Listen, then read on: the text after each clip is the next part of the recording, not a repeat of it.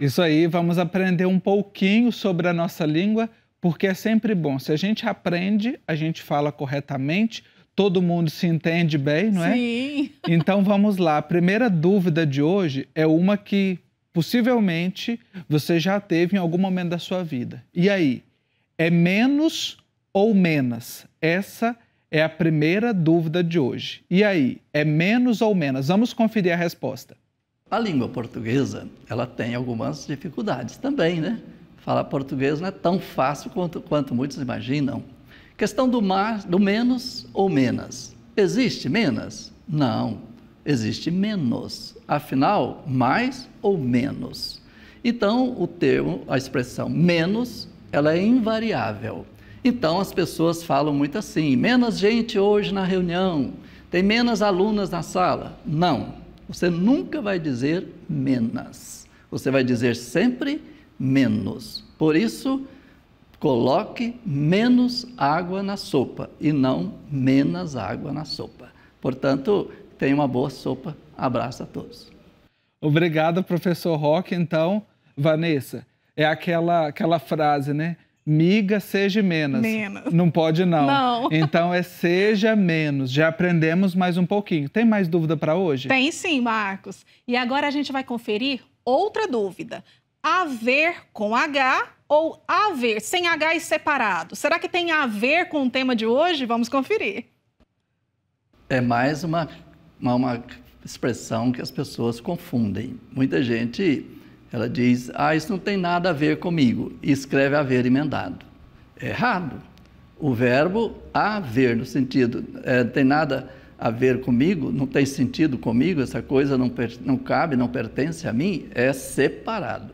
Por isso, né, há coisas que não têm nada a ver comigo, a ver com você, separado. Agora, o verbo haver, emendado, equivale ao verbo existir, o verbo ter, por exemplo. Então, há pessoas na reunião. Então, deve haver pessoas na reunião, deve existir pessoas. Então, haver emendado é o verbo existir. Haver separado é do verbo ver com a preposição a. Isto não tem nada a ver conosco, separado. Hoje deve haver aula de português. Haver, existir. É junto o verbo haver, ok? Ok, essa pergunta tem a ver com o quadro de hoje. É verdade. Haver sem H e separado também, né, Marcos? Isso. Ok, professor Roque, muito obrigado, viu, por ter esclarecido as nossas dúvidas. Todo dia nós vamos ter um momento de aprendizado da nossa língua portuguesa aqui no programa Pai Eterno. E você tem dúvida também? Às vezes alguma palavra, quer saber como que escreve, enfim, tudo que for referente à língua portuguesa, além das questões de fé que a gente já disse para você, utilize as nossas redes sociais, o Facebook, o Instagram e deixe lá. Pode comentar no post do programa, pode mandar uma mensagem no privado ou também pode ligar aqui para nós, que a nossa equipe lá já vai anotar a sua dúvida e passar para a gente.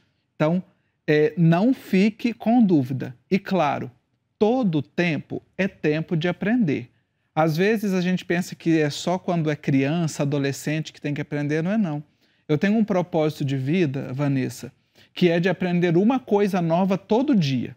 Nem que seja o significado de uma palavra, mas todos os dias eu gosto de aprender uma coisa nova. E aqui nós vamos também partilhar coisas para você aprender, para enriquecer ou para relembrar, que às vezes a gente tem que tirar as teias de aranha também da nossa memória, né? É preciso. Se, se fica muito tempo sem usar, ou às vezes vai ficando enferrujado. Mas aqui no programa Pai Eterno, passando a tarde com você, nós vamos descobrir e aprender muitas coisas.